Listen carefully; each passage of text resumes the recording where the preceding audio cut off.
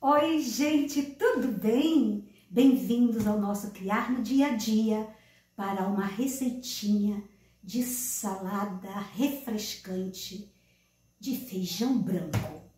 Vamos aos nossos ingredientes? Aqui nós temos feijão branco já cozido, temos aqui tomate, cenoura, cebola roxa, pimentão vermelho picadinho, coentro e azeitonas. Se você não gosta de coentro, você pode substituir o coentro por salsa, cebolinha.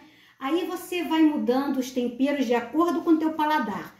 Aqui nós temos vinagre de vinho, azeite e sal. Vamos começar colocando aqui os nossos temperinhos. Já vamos misturando. É uma salada rápida e fácil. Não tem como errar.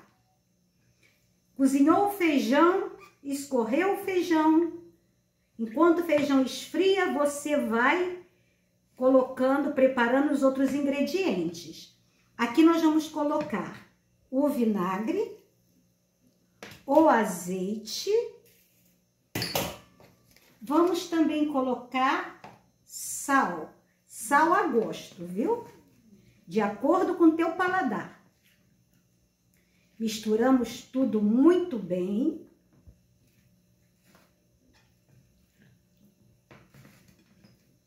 Fica um cheirinho assim maravilhoso.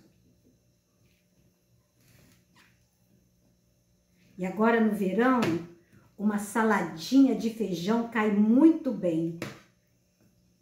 Se você quiser, você pode agregar aqui uma proteína de acordo com o teu paladar. Pode ser um atum, pode ser aí também um frango desfiado. Usa a tua criatividade e faça a tua saladinha, viu? Pronto, está pronta a nossa salada. Espero que você goste, faça aí na sua casa. Até o próximo vídeo, querendo Deus, e beijinho no teu coração. Vai!